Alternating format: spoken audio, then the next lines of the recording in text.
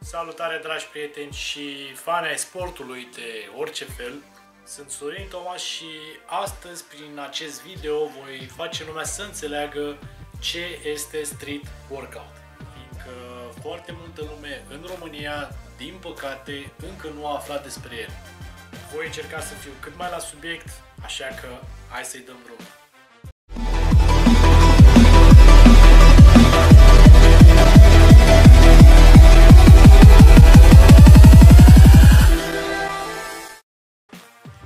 Street workout. Un sport cu un potențial enorm, un sport greu, dar ușor în același timp, un sport pe cât de spectaculos, pe atât de benefic pentru sănătate, cum sunt de asemenea multe sporturi în general. Dar el are o singură problemă. Lumea, din păcate, nu a aflat despre el. Cel puțin asta se întâmplă în România. Când spui street workout, spui mișcare liberă în care tu ești creatorul, iar corpul tău instrumentul. Un sport care se bazează pe antrenamentul doar cu greutatea corporală, propriul tău corp înlocuind greutățile de la sală, gen gantere sau aparate, nu îți trebuie absolut niciun fel de echipament, îl poți practica oriunde. Important este să ai pasiune pentru acest sport și să-ți placă și evoluția ta în acest sport către nivele mai mari va trebui să se bazeze pe imaginație și creativitate. Da, hai să începem cu începutul. Da, toată lumea îl poate practica. Depinde de voința fiecăruia. La început de drum se pornește cu exerciții basic, gen flotări, abdomene, tracțiuni, flotări la paralele, etc. Gen prin ele se creează o fundație pentru exercițiile care vor urma în drumul tău evolutiv în acest sport cu timpul forța ta va crește și vei începe, cum să zic eu, să te joci efectiv cu exercițiile astea, să fii creativ, să adaugi altele noi, să le combini și tot așa. Și asta la început. Și te va prinde asta. Vei vrea mai mult. Și voința ta în combinație cu pasiunea pentru el, cu timpul, te va duce la nivele la care nu ai crezut niciodată că vei ajunge. Îți vei depăși limitele și vei ajunge să faci lucruri pe care nu ai crezut niciodată că le poate face corpul uman. Street workout este un sport bazat pe forță, rezistență, agilitate, explozie, coordonare, tehnică, flexibilitate și, cum am mai spus, creativitate. El este, cum să zic eu, un uh, hibrid a trei sporturi. El uh, conține câteva mișcări din uh, breakdance, din parkour și din uh, gimnastică, dar uh, niciodată nu trebuie confundat cu ele. Din uh, sportul acesta o să ai foarte multe beneficii, atât uh, pe plan fizic cât și psihic. Fizic fiind uh, creșterea masei musculare, desigur, arderea grăsimilor, tonifierea, creșterea flexibilității, creșterea forței și a rezistenței la efort, precum și întărirea ligamentelor.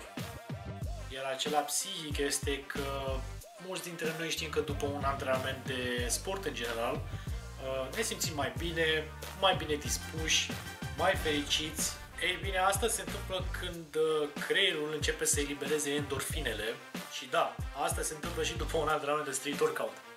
Altceva este că vei avea mai multă încredere în tine, vei fi mult mai disciplinat, fiindcă sportul ăsta asta implică disciplină nu poți avea progrese semnificative dacă ești haotic, atât în alimentație cât și în antrenament. De aceea trebuie să fii calculat și să-ți structurezi totul cu cap.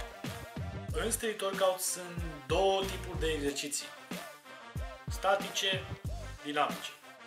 Ideea pentru a evolua cât mai departe este să le combini pe amândouă dar asta nu neapărat în toate cazurile, fiindcă poți fi un atlet căruia îi plac doar exercițiile statice și doar pe ele să rămână, sau unul căruia îi place adrenalina și practică doar partea dinamică. Dar, dar, definiția unui atlet complet, în viziunea mea și în general, este că cel mai bine este să le combine pe amândouă, adică să le aibă pe amândouă.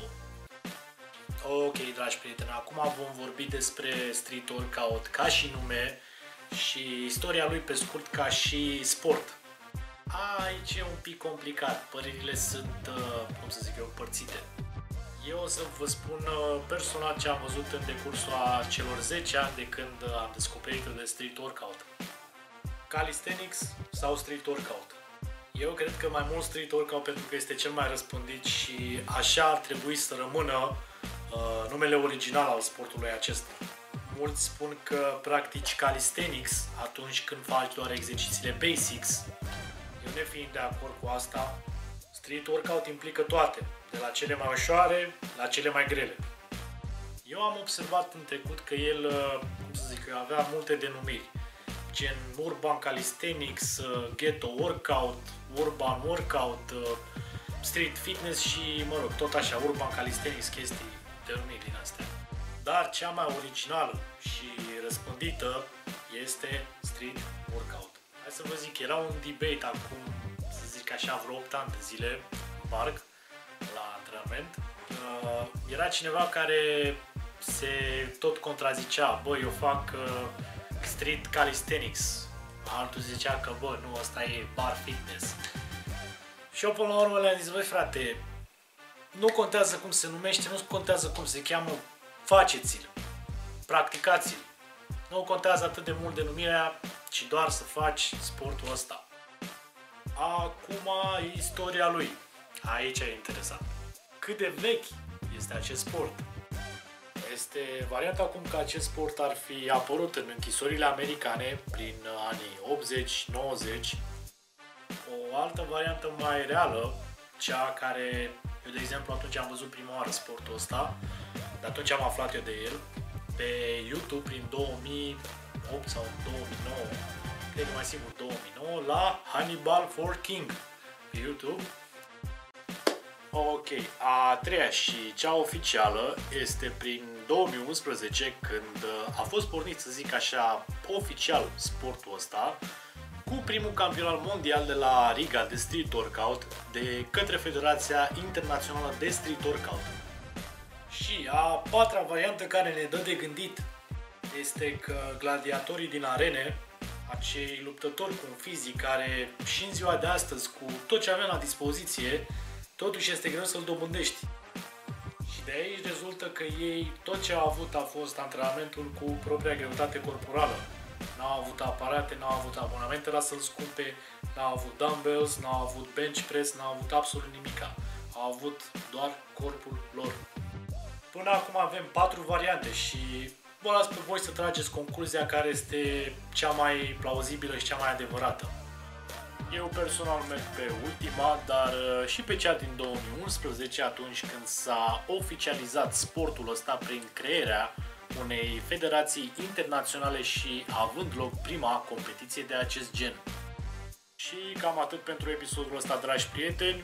Street Workout, un uh, sport neînțeles, un sport nepromovat, un sport care nu este fotbal și nu este tenis în România, Uh, un sport de care tot ce ai nevoie este ambiție, perseverență și opțional, opțional, o bară de care să te agăți. Dar asta nu în toate cazurile, fiindcă natura și mediul urban devin propria ta sală de fitness.